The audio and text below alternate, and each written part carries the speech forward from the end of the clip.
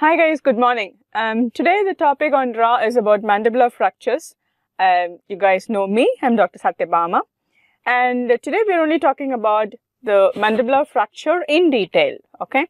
We know mandible, if you look at it, is a horseshoe-shaped structure. Now that is the coronoid process, the condylar process, the dentoalveolar process. So this becomes your ramus, that's the angle and the body you have your mental foramen through which the mental nerve comes out starting from the inferior alveolar nerve which is the mandibular foramen up here. So now when you're looking at these fractures, we're looking at where and how these fractures work and what kind of forces are acting on them. There is a zone of tension that is act acting along the dentoalveolar segment. We have a zone of compression that acts on the lower border of the mandible.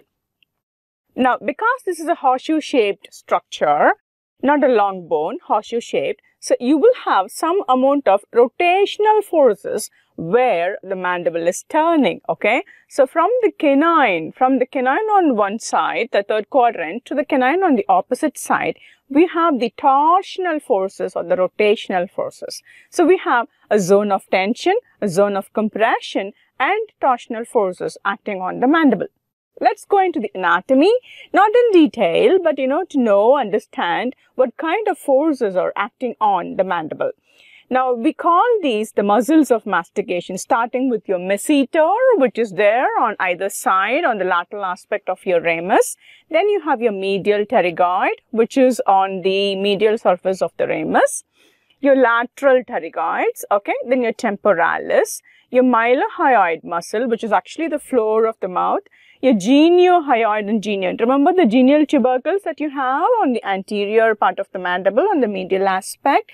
Now those are the genial tubercles, okay. So from there you have the geniohyoid, genial tubercle to the hyoid bone, genial tubercle to the tongue, to the glossum, which is the genioglossus muscle and the anterior belly of digastric and the posterior belly of digastric that all of us know. These are, that's, that forms a belly here, okay. All right. So the next one is about the blood supply. Uh, most often, you know, the uh, blood supply to the mandible comes from the endosteal blood supply, which is the inferior alveolar artery and its vessels, okay? There is some amount of blood supply coming from the periosteum, with the periosteum that's covering the entire mandible gives some supply as well, which gets diminished as we age and, and that actually compromises and compensates for the endosteal supply which completely reduces as the aging progresses.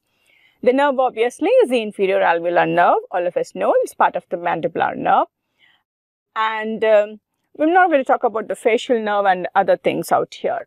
Right. So, how do I go about classifying this fracture? And what are the common causes of these fractures? Direct trauma. Somebody hits you directly from, from the uh, side or from in front. Okay. So, you sustain a facial fracture, which is more interpersonal violences that are happening these days.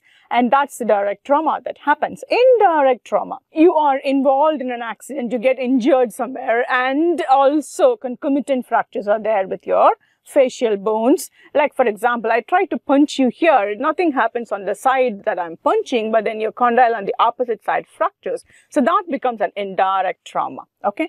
Due to excessive muscular contraction, that's because you have your mouth open and then you fall down, okay?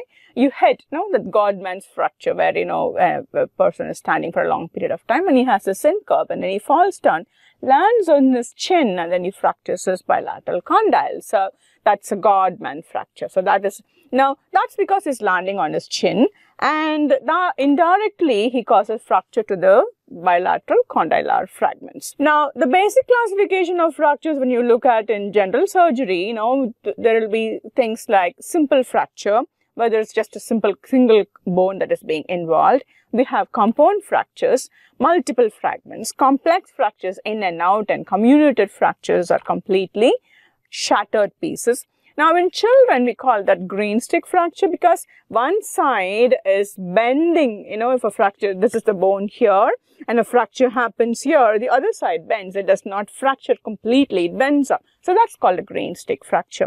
And if you have a pathological condition like a big, huge cyst in the alveolar mandibular body, then there can be a fracture of the lower border of the mandible that can happen and that is called a pathological fracture. Okay. So mandible fractures, you can classify them based on the type of fracture, the site where they are and the cause of the fracture.